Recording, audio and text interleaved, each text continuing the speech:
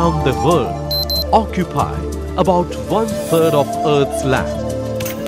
The rise of these mysterious and fascinating forests on planet Earth has a long history. Nearly 420 billion years ago, when the Earth was evolving, the ancient plants and arthropods began to inhabit the land. Slowly and steadily, over millions of years that followed, these land colonizers developed and adapted to their new habitat, creating the first forests. The first forests were dominated by giant horsetails, club mosses, and ferns that measured up to 40 feet tall. Life was continuously evolving on Earth. During the Ice Age, the landscape of Earth again went through a transformation and the surface of the planet that had been dominated by tropical forests for millions of years changed.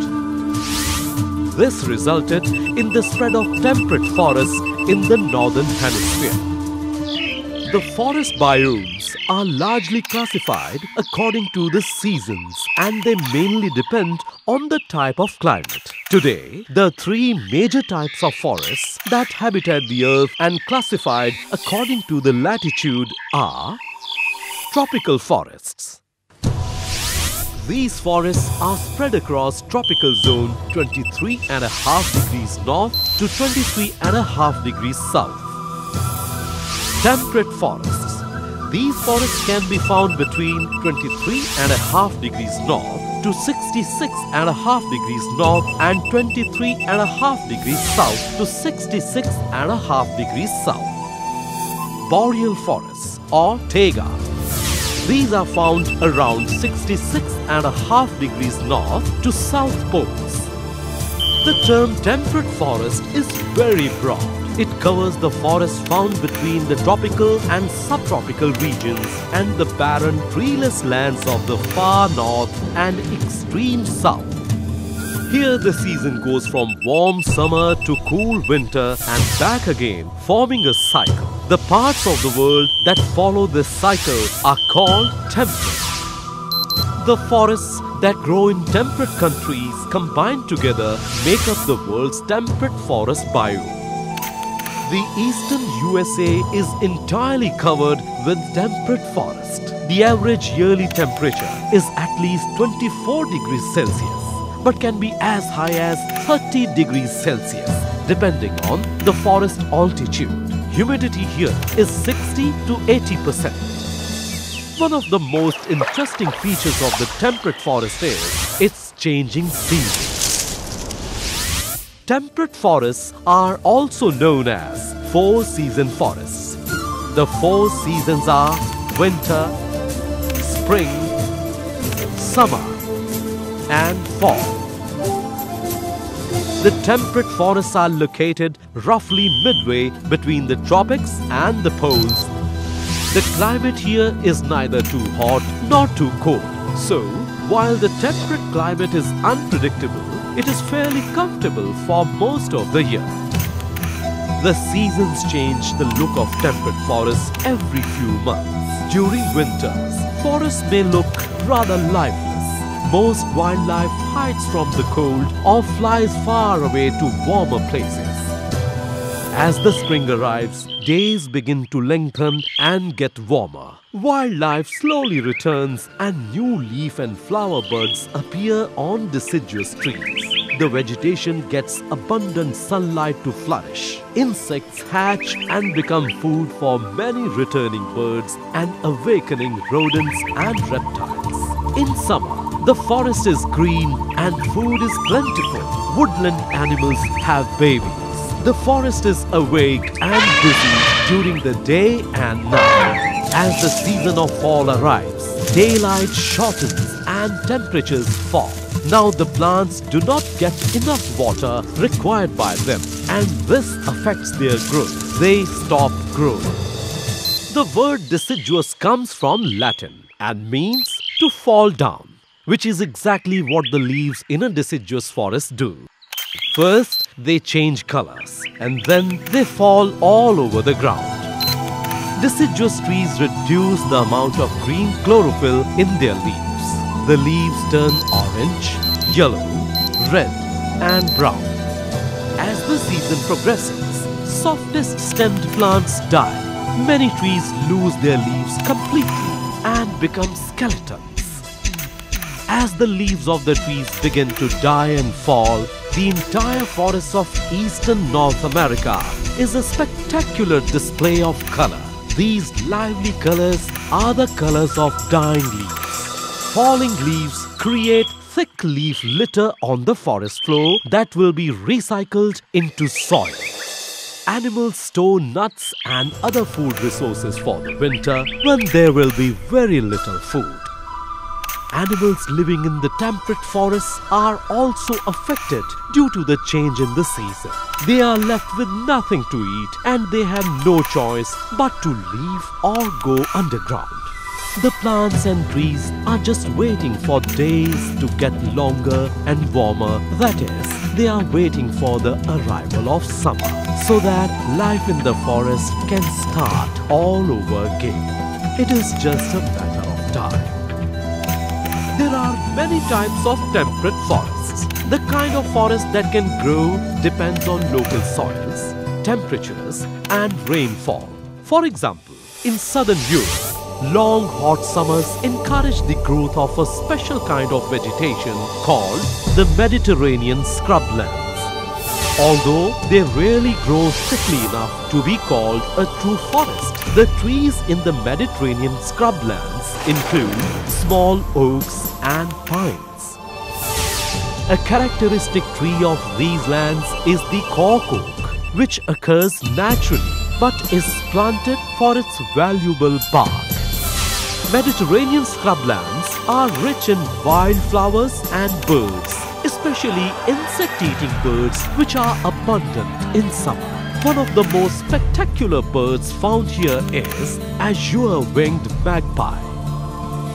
Most temperate forest grows in the eastern North America, Europe and eastern Asia.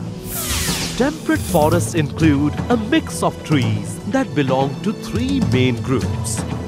They are the deciduous trees, coniferous trees and broad-leaved evergreens.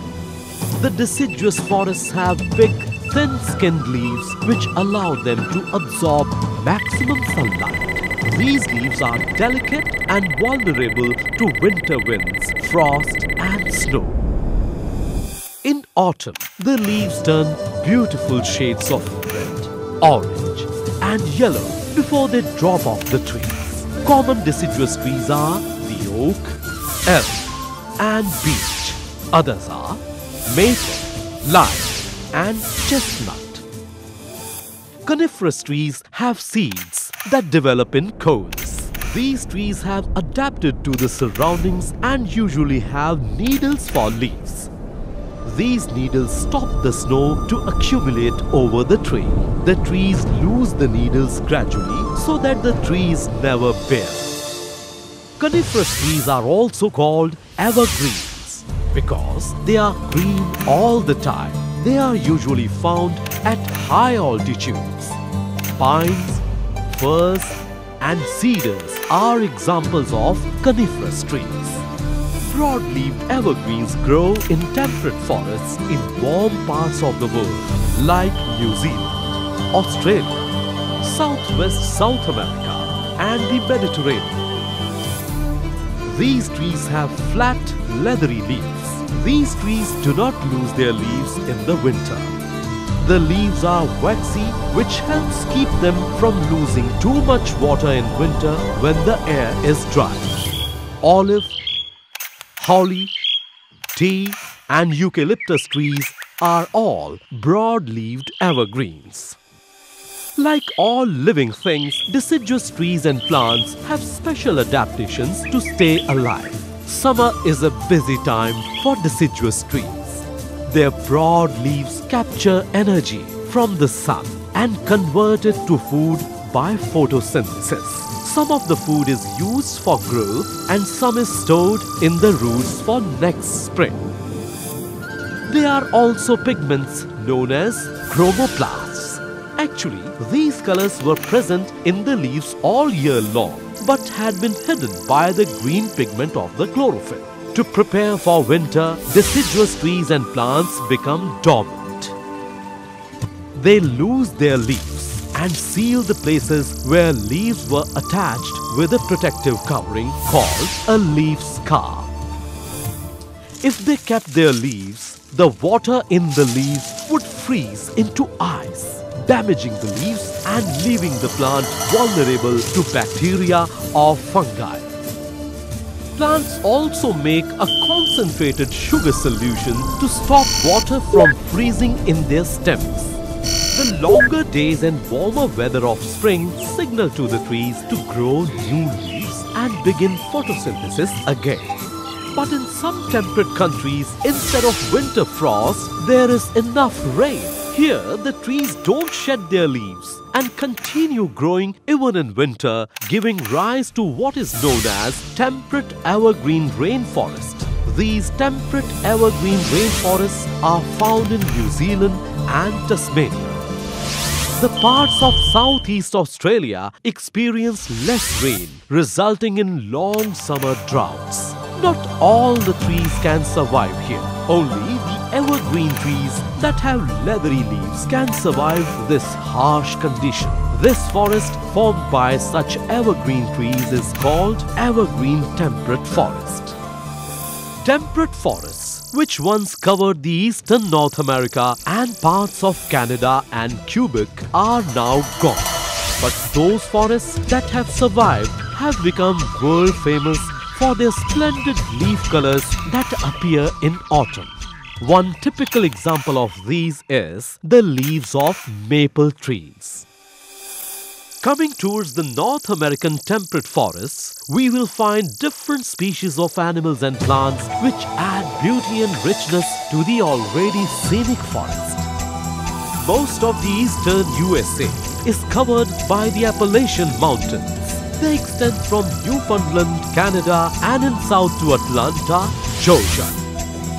The southern part of this mountain supports more than 130 species of trees and more than 1,500 species of wildflowers. The American temperate forest biome can be experienced closely along the Appalachian Trail, which is the longest footpath in the world, extending more than 3,360 kilometers. Located in the northern end of the Appalachian Trail is the mountain Katahdin that has temperate deciduous forest mixed with evergreen taiga forest. In Kansas City, however, the original temperate forests are faded into dry prairie grasslands. The formation of the earth is such that most of the land is concentrated in the northern hemisphere, while southern hemisphere is covered mostly with oceans. Northern hemisphere has great landmass which forms an almost continuous ring around the planet, surrounded with icy tundra and the dark taiga forests of Scandinavia, northern Russia, Siberia, Alaska and Canada. To the south of Taiga region lies the temperate zone, which extends over a large area of land covering most of the USA, southern Canada, central and eastern Asia and Europe. In the southern hemisphere, however, the terrain and climate makes the most of the area unsuitable for forests. This is the western North America. The mountains here extending along the Pacific Ocean act as a barrier and stop the moist air blowing from the ocean so the area to the east of mountains does not get rains. Therefore, much of this area is desert. This region is known as the Great Basin. It is cut off in the east by yet more mountain range of the Rockies. While across the Atlantic Ocean, in Europe, there are no mountain ranges to act as barriers. The blowing moist ocean winds make the climate wet enough for temperate forests to develop across a major part of the region. In Ireland and western Scotland, there is enough rain throughout the year to support the temperate evergreen forest. But these countries lie too far north and temperate evergreen trees cannot survive there. The cool soils here become waterlogged and with no air, the dead plants build up into masses of dead matter called peat bogs. These bogs once extended in large areas of Ireland and Scotland. As we come towards the north, this temperate forest transforms into taiga. In winter, it has the maximum rainfalls and the season of summer is dry with no rainfalls. This climate favors only those trees that have tough, leathery leaves. These leaves can carry out tasks efficiently in winter and during summer it can even resist dry. As we move towards the eastern side of Europe, just beyond the Volga River, we find the influence of Atlantic Ocean gradually fading off. The rainfall is insufficient here and temperate forests spread out forming dry temperate grasslands. These grasslands of Asia are known as steppes and it extends across the heart of Asia to central China. To the north, we find the taiga forest and the south is a mass of desert. Being far away from the ocean and not being affected by it, this northern desert and steppe is dry as a bone in summer and bitterly cold in winter. The steppes and the deserts are amongst the last wildernesses on the earth. The icy highlands of Tibet that lies further east open up to the peaks and valleys of central Chinese hill ranges. The temperate zone here comes under the influence of winds blowing from Pacific Ocean. The climate is mild with enough rainfall for the forests to again grow in this area. This East Asian region extends up to Siberian border and through Korea to Japan. Let us now know about the forests of Europe.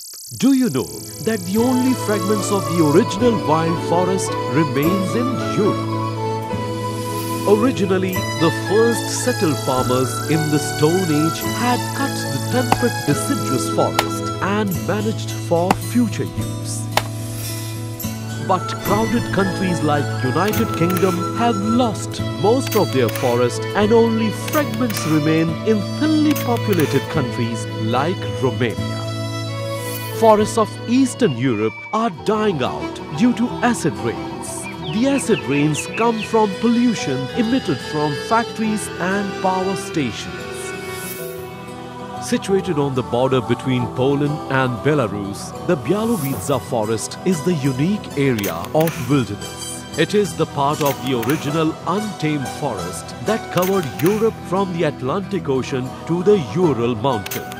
Białowieża is famous for bisons, elks, beavers, lynx and wolves. Coming towards the Atlantic Ocean, the warm currents create mild climate of Western Europe. Here, the temperate forests are largely found in southern Sweden till as far as Alaska. Dividing the deciduous temperate forests of the Central Europe is the Pyrenees. This mountain barrier divides the deciduous temperate forests of Central Europe from the hot, dry Mediterranean shrublands of Spain and Portugal. Centered in the Harz Mountains is the Oberharz Nature Reserve. This place has dense forests that once covered central Germany. Many of its trees are damaged by acid rains. Alps mountains have prevented plants from spreading, hence many plants have become extinct in these areas. Towards the northern edge of temperate forest zone is Moscow. The Taiga region begins from this place. It is tough times surviving for the trees of the world's biggest forest. Trees like oaks, beeches and maples are the world's biggest temperate forests. They are deciduous and they cope up with winter by shedding their leaves in autumn and growing new leaves in spring. The plants of these forests survive as roots, bulbs or seeds, ready to shoot up from the ground in spring. The plants get energy through simple chemical process by which they absorb air through leaves and spread it till the roots. This process of generating energy is in the presence of sunlight. These are all adaptations of leaves. The more light a leaf can collect, the better. So the best shape for the leaf is broad and flat. Besides absorbing energy, leaves have other functions. Each leaf has tiny holes or pores known as stomata that let water evaporate and drift away. This process of evaporation, also known as transpiration, makes the leaf suck more water through its stomata. This in turn pulls water from the tree's twigs and branches and up through its trunk from the roots. The water carries vital chemicals which the tree needs for making food and energy. So the leaves are not only energy collecting souls but also power pumps that allow the trees to collect chemicals from the ground. Around equator, where the climate is always warm and wet, leaves are thick and strong and usually keep working for full year. The trees that carry this type of leaves are broad-leaved evergreen trees. In temperate region with harsh winters and frost, the plants keep themselves up by filling with water. And when water turns into ice, it expands and takes more space. But the plants of this region defend themselves through strong wood stems and extra tough leaves that can survive frost. In Europe, most of the oaks, elms, beeches, chestnuts and other trees turn brown or yellow. But in England and Japan, the color of maples turns bright gold and red. Within a short span of time, the lush green forests become bare and the ground is covered with a thick layer of multicolored leaves that have fallen from the trees. But the trees have to survive the season without leaves. They have to store their energy for spring when a whole new set of leaves are formed and they prepare for this beforehand. Before autumn, each tree has already made the leaves for spring. These leaves are tightly packed in the frost-proof buds on every live twig. When the warm weather returns, the buds only have to pop open to allow the new leaves to unfurl, start growing and working. The deciduous trees are the biggest plants in the temperate forest, but the undergrowth plants outnumber them. These plants are not strong enough like the trees and the winter frost destroys them. But the interesting part is that the plants are not dead. As long as their roots are in good shape, they can survive. It's just that they shut down for a while. When the spring arrives, new green shoots sprout among the thick layer of fallen leaves on the forest floor, which acts as a blanket against freezing cold temperatures. The plants that die in winter but survive underground are known as herbaceous plants. When the trees are still without leaves in early spring, small plants get a chance to grow, flower and spread beneath the trees. This creates some of the most spectacular flower shows on the earth. As the summer starts to approach, the spring flowers have to race against other trees to set their seeds because early summer sunlight will soon be blocked by the spread of leaves of forest trees. Some plants that survive in the shadow of huge trees have broad leaves that gather as much light as possible for the plants to make food. Some plants growing in shade have even found a much easier way to get food and that is to steal it. They are the parasitic plants. They penetrate their curly twigs into the stem of other plants and directly absorb the prepared food. Cow wheat is delicate looking flower plant that grows in European forests. This plant attaches its roots to the other plants and steals their sugary sap. It lives off on food prepared by other plants. Such plants are called parasites. Fungus is a strange organism that is expert at getting food without light. It is made of chitin, a material that forms hard outer casing of insects. Fungi, which are various sorts of mushrooms, eat sugar from decaying wood, dead plants and animals. Some fungi repay the plants by supplying certain substance that plants cannot get from the soil by themselves. These kind of plants that repay are known as saprophytic plants. Many plants in temperate forests rely on these for survival. If their seedlings are planted in the soil that does not contain the right sort of fungus, they keel over and die. Lots of effort goes in producing seeds by the plants, but not all seeds are lucky enough to get a chance to grow. The ground is too crowded for them to squeeze in. The big trees block sunlight and the little ones do not get enough sunlight to start growing. Their break comes when a huge tree is blown away by the wind in a storm. The vacant space created by the blown away tree brings in the desired sunlight and the correct opportunity the seeds had been waiting for. Some seeds are viable even for 100 years. They remain dormant and on getting favorable conditions, they germinate. The fast breeding plants like foxglove and willowherb become the first to grow.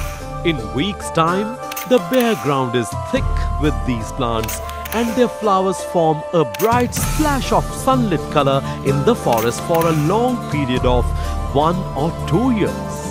Other seeds that have been blown into this open land also sprout. They grow up to be birch trees. And after a few years, the young birch trees shade out the earlier arrivals and grow into a small birch thicket. But their domination is short-lived. And as the time passes, they give way to trees such as oaks, maples and tulip trees. And in this manner, after many many years, the wound caused by the blowing of the tree heals and the forest returns to its previous form of lush green temperate forest. Temperate forests have a moderate climate. They are home to many plant and animal species. Much of the food humans eat is grown in areas where temperate forests have been cleared and farms now exist. If you don't live in the tropics, chances are a temperate forest once was growing where you are right now. Temperate forests are also where many of our favorite foods first came from. Walnuts, apples, mushrooms and maple sugar are all foods of the temperate forest. In temperate forests, litter is a good thing. Fallen leaves create leaf litter. Leaf litter is one of the most important parts of the temperate forest. This is where the forest recycles most of its nutrients. Inside and beneath this leaf litter, thousands of small animals live, including many invertebrates like beetles, millipedes, centipedes, and ants. Unseen microscopic creatures such as fungi and bacteria live there too. All these organisms help break the leaf litter into nutrients other plants and animals can use. In this manner, they return the nutrients back into the soil.